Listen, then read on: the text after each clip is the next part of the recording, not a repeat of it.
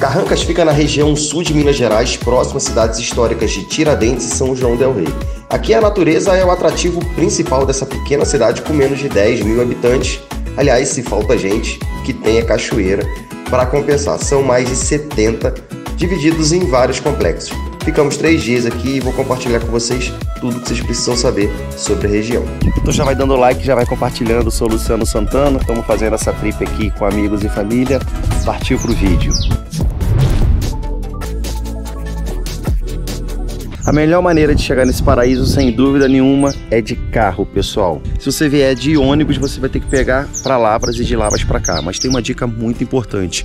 O trecho da estrada que liga Itutinga, na verdade Nazareno, Itutinga, que a gente corta essas cidades para chegar aqui, tá muito ruim e perigoso. A estrada está totalmente esburacada e são buracos grandes. No meu caso, eu vim do Rio de Janeiro, a gente levou 5 horas e meia vindo pela BR 040, seguindo em direção às cidades históricas de São João del Rei Olha essa lua como é que tá linda, pessoal. Tiradentes, a gente passa por Nazareno, entra em Tutinga e chega aqui nesse paraíso, nesse rancho maravilhoso. Os principais passeios da cidade você consegue fazer sozinho, sem a necessidade de guia. E aqui é dividido por complexo. São vários complexos. Eu vou deixar um link aqui na descrição do vídeo de um receptivo. Não é patrocinado, mas lá tem todas as informações sobre as trilhas. Na descrição desse vídeo tem os links de alguns complexos que a gente vai conhecer. Não vai conseguir conhecer todos. A gente vai ter o da Esmeralda e vai ter o da Zilda. Como eu disse, a maior parte dos passeios você consegue fazer sozinho, sem precisar guia. Você tem que pagar uma pequena taxa dependendo do complexo que você vai. No guia tem os valores. Então vamos dar um pulinho. No primeiro dia que a gente chegou foi ontem, já no final da tarde, então a gente resolveu conhecer uma cachoeira incrível, muito bonita, que é a Cachoeira da Fumaça. Partiu para lá.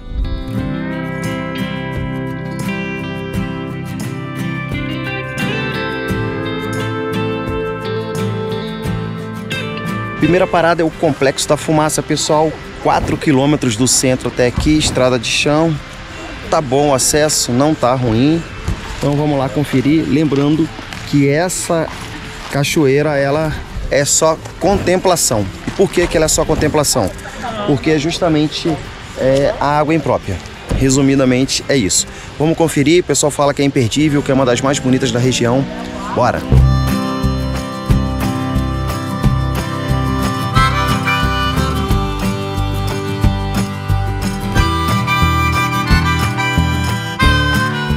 É a pena que não é própria para o banho, pessoal. Outra dica importante, pessoal, posição do sol, parte da tarde, parte da manhã, o sol vai estar tá vindo aqui. Então na hora de você tentar tirar foto vai ficar ruim. O sol tá para lá. Gostou da dica? Vamos ver do alto agora?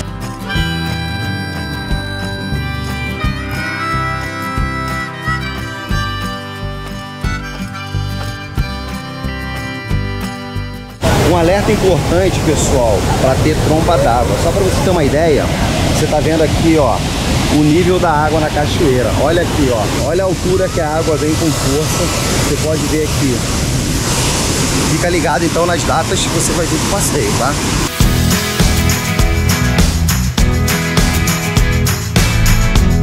Então, sem dúvida nenhuma, a melhor forma de você vir é de carro, pessoal tá? De carro é a sua melhor opção. Que de ônibus, para você fazer todos os passeios aqui, você vai precisar depois de, de agência. Vai, vai ficar mais difícil fazer tudo por conta própria.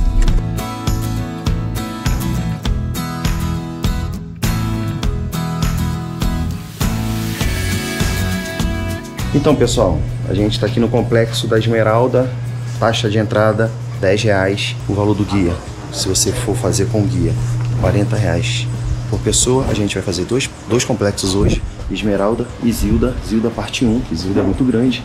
Aqui você tem uma estrutura com restaurante, em que dependendo da demanda tem céu e service que está escrito ali, 40 reais o quilo. Então pessoal, sábado, domingo, feriado que a gente tem a demanda maior, a gente tem a opção do céu e service. Fora isso, você tem aqui a opção do, dos petiscos, tá vendo? São, tem a quantidade aqui para uma ou para duas pessoas, aqui das porções, ó. E o legal aqui que eu vi que ele tem vinho, tem espumante, tem bebida, tá vendo? E o preço muito justo aqui, muito justo realmente, tá vendo? Aqui é a nossa entrada, direção até aquela pedra. O objetivo é chegar lá entre 10 e meia, 10, 10 e meia da manhã, 11, por causa da posição do sol, para que o poço fique bonito e lindo para vocês poderem ver como é que é. Vem comigo durante a trilha. Partiu!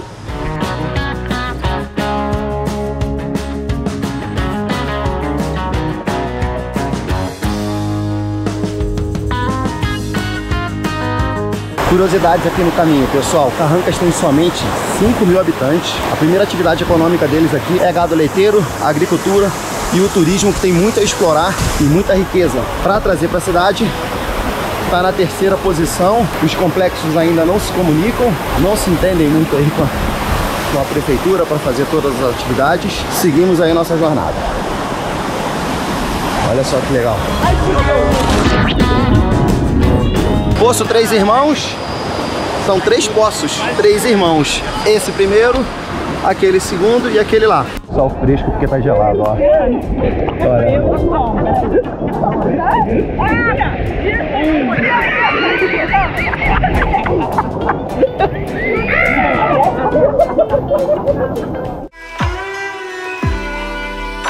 Bom, saindo do Poço Três Irmãos, agora a gente vai para chegar lá no horário certo na Cachoeira das Esmeraldas.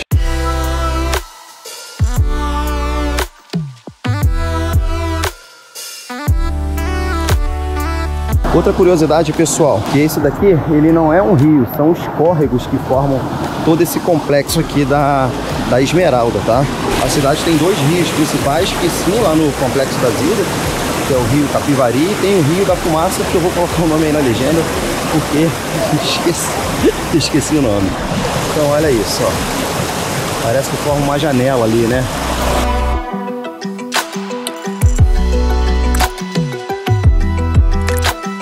Poço da Esmeralda, pessoal, olha só que maravilha, que delícia.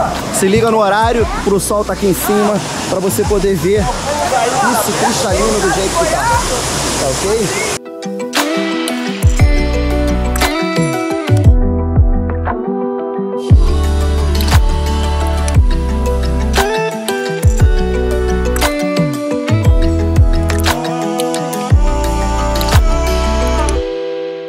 Pessoal, tá aqui, ó, tá fundo, tá? E o guia traz um salva-vida caso você precise. Então, é só combinar e ser receptivo aí. Muito bacana essa cachoeira da Esmeralda. Nosso grupo aqui, ó, todos se divertindo demais aqui. Muito bacana, show de bola. Se liga nessa dica, pessoal. Lá no fundo tem um banco de areia. Então, apesar dessa região ser profunda, quando você chega lá na pedra, tem um banco de areia, dá para você encostar, a pedra fica quentinha, parece até que tem uma hidromassagem lá, por causa da temperatura da água e a temperatura da pedra. Vai lá conferir e posta aqui embaixo se eu não falei a verdade.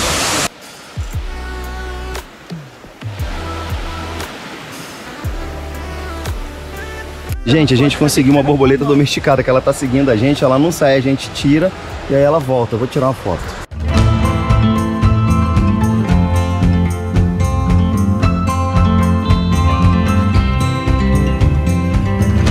Então, pessoal, o Complexo da Zilda são várias cachoeiras e atrativos em propriedade diferente.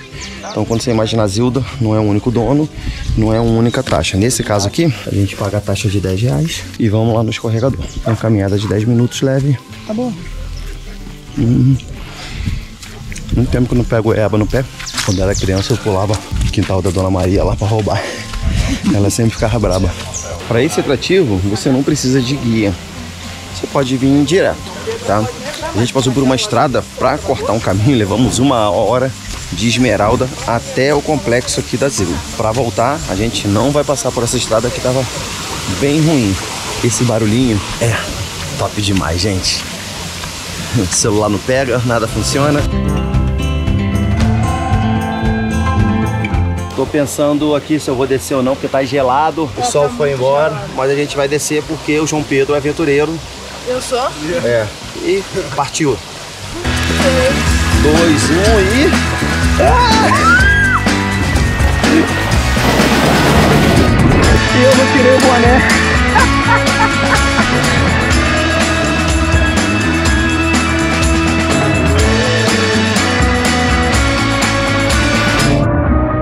Aqui você pode descer quantas vezes você quiser, né? E aí para subir a gente vai nessas cordinhas, segura firme, tá? Para não escorregar.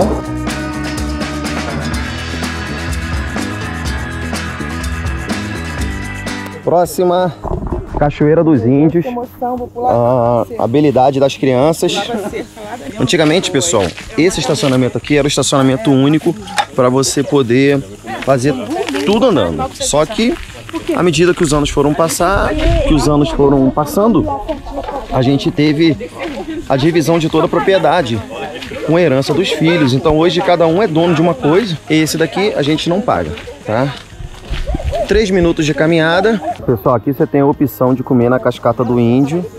Inclusive, rei da traíra sem espinho, só que durante a semana o movimento é pequeno, então não compensa. A cidade é pequena, né? Já falei isso pra vocês, né? Então, restaurante só nos finais de semana, feriado, você vai ter opção de, de comer por aqui. Chegamos aqui, tem essa pequena praia aqui, dá pra você até esticar uma toalha. E tá aqui a Cachoeira dos Índios, dá pra tomar banho, a gente não vai fazer isso agora, a gente vai seguir a trilha. Só momento foto e partiu.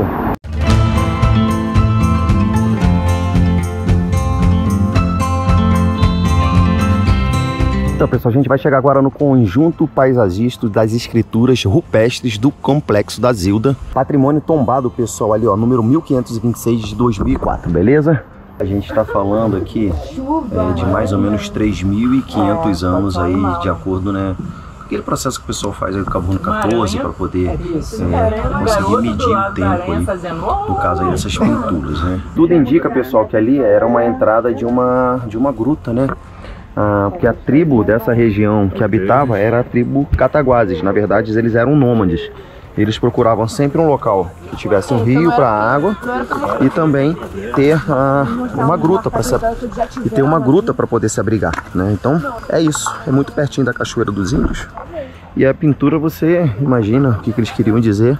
Isso é muito pessoal. A gente não tem como saber o que, que eles queriam representar ou qual era a mensagem que eles queriam passar. Partiu para a próxima atração aqui do Complexo da Zilda. A gente está fazendo o circuito Zilda 1. Cansou. Bom, esse trecho aqui é que tem a melhor estrutura, né? Você pode perceber que é tudo bonitinho, legal. A gente veio de carro até aqui porque durante a semana não tem nada, porque geralmente estaciona lá em cima e tem um trator que traz vocês até aqui. No final de semana, que tem mais movimento, você tem essas mesas e você tem esse bar aí, ó, com cerveja. Então bem bacana, bem legal. A gente vai parar na Cachoeira da Zilda agora, 10 minutos de caminhada, mais 10 minutos até a Cachoeira da Prosa, mais 10 até, mais 20 até a Proa, enfim. A gente vai fazer mais ou menos aqui uma hora com paradas para mergulho e depois mais 40 minutos para voltar, 4 horas da tarde, encerrando o dia 2. Então a gente conseguiu fazer dois complexos, Esmeralda e vamos fazer a Zilda agora e vocês vão conferir com a gente aqui. Partiu! Só reforçando, pessoal, que a entrada custa 30 reais até 14 anos. O dono não cobra. Então a gente conseguiu economizar aqui pelo menos 60 reais, né? Que a gente tá com dois pequenos. Você lembra o casamento do comendador? Então, aqui foi onde aconteceu. Esse trecho que a gente tá é a Serra do Moleque, onde é local de cenário de novela da Globo e tal. Então, nessa cachoeira aqui, ó, foi gravado. Se o editor conseguir colocar aí a cena do casamento do comendador, coloca aí para o pessoal entender o que, que é. Mas eu não seria um homem inteiro, pleno, se não tivesse uma mulher do meu lado. Você. Cara, gostamos muito dessa cachoeira. É uma pena que não tá sol, né, cara? Pô, sacanagem. Senão a gente ia ver a água cristalina, né? Se você for ver aqui, ela é bem transparente. Mas como não tem sol, luz é tudo, né? Então, ó. Vamos? Então, partimos para próxima.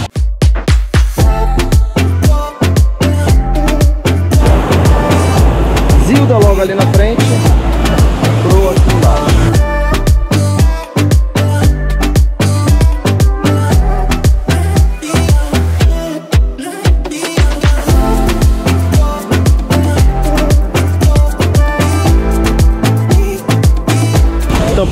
Esse local aqui, que é a Cachoeira da Fumaça, existe essa trilha que você está vendo aqui a plataforma, que você vai atravessar justamente aqui. Só que por devido às chuvas de ontem, apesar de ser uma travessia pequena, é muito perigoso você passar para o outro lado. Então a gente abortou a missão que a gente iria fazer a cachoeira da, do véu da noiva e os poços que a gente tem aqui. Então infelizmente a gente vai ficar devendo isso para você.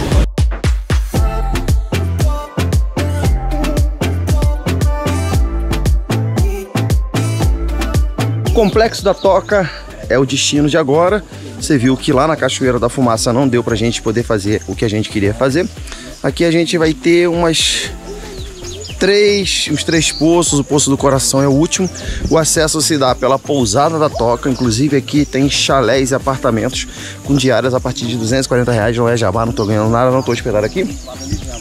É bem bonito aqui, bem bacana, não tá sol. E a entrada custa 10 reais. Eles têm estrutura de restaurante que serve porções e uma lasanha pago à parte para quem não está hospedado.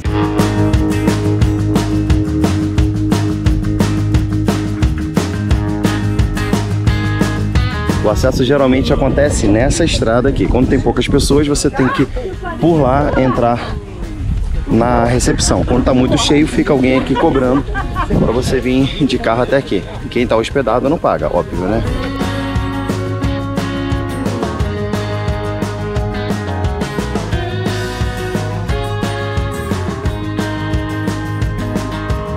Chegamos aqui no coração, coraçãozinho, as imagens aí para você subir o poço, bem tranquilo, tem umas pedras ali bonitas, tem umas nuvens, a gente não tá vendo onde está chovendo, a gente vai embora, não vai ficar aqui dando sopa e vamos comer. De repente vai comer na cidade, né? Acho que é melhor, né? Mais opção, né? Do que ali vai ser só a porção, então a gente vai partir para a cidade e bora!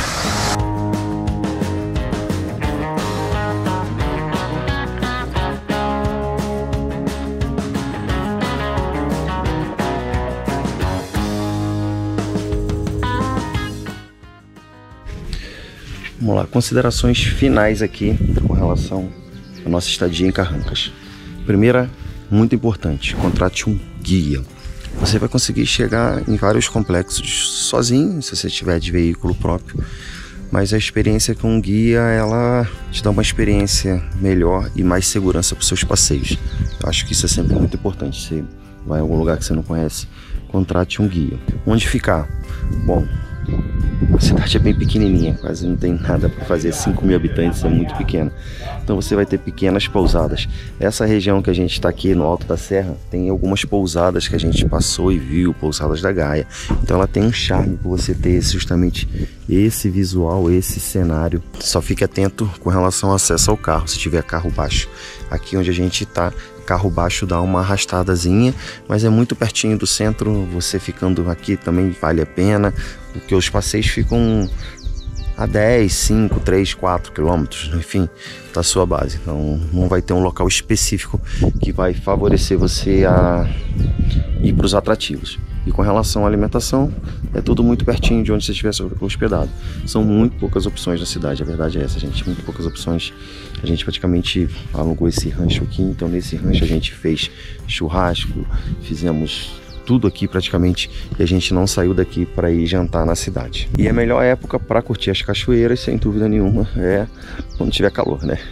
Só tem que ficar atento aí às trombas d'água, às chuvas de verão. E se você quiser curtir também o inverno, né, o friozinho na serra, então também vale muito a pena. Aqui na descrição do vídeo tem um índice para você conhecer cada complexo do que, que eu achei, do que, que eu gostei todas, todas as dicas aqui. Vou deixar também meu Instagram, meu TikTok para você me seguir, porque por lá a gente sempre traz muita coisa bacana para vocês. Essa foi nossa trip de Carrancas.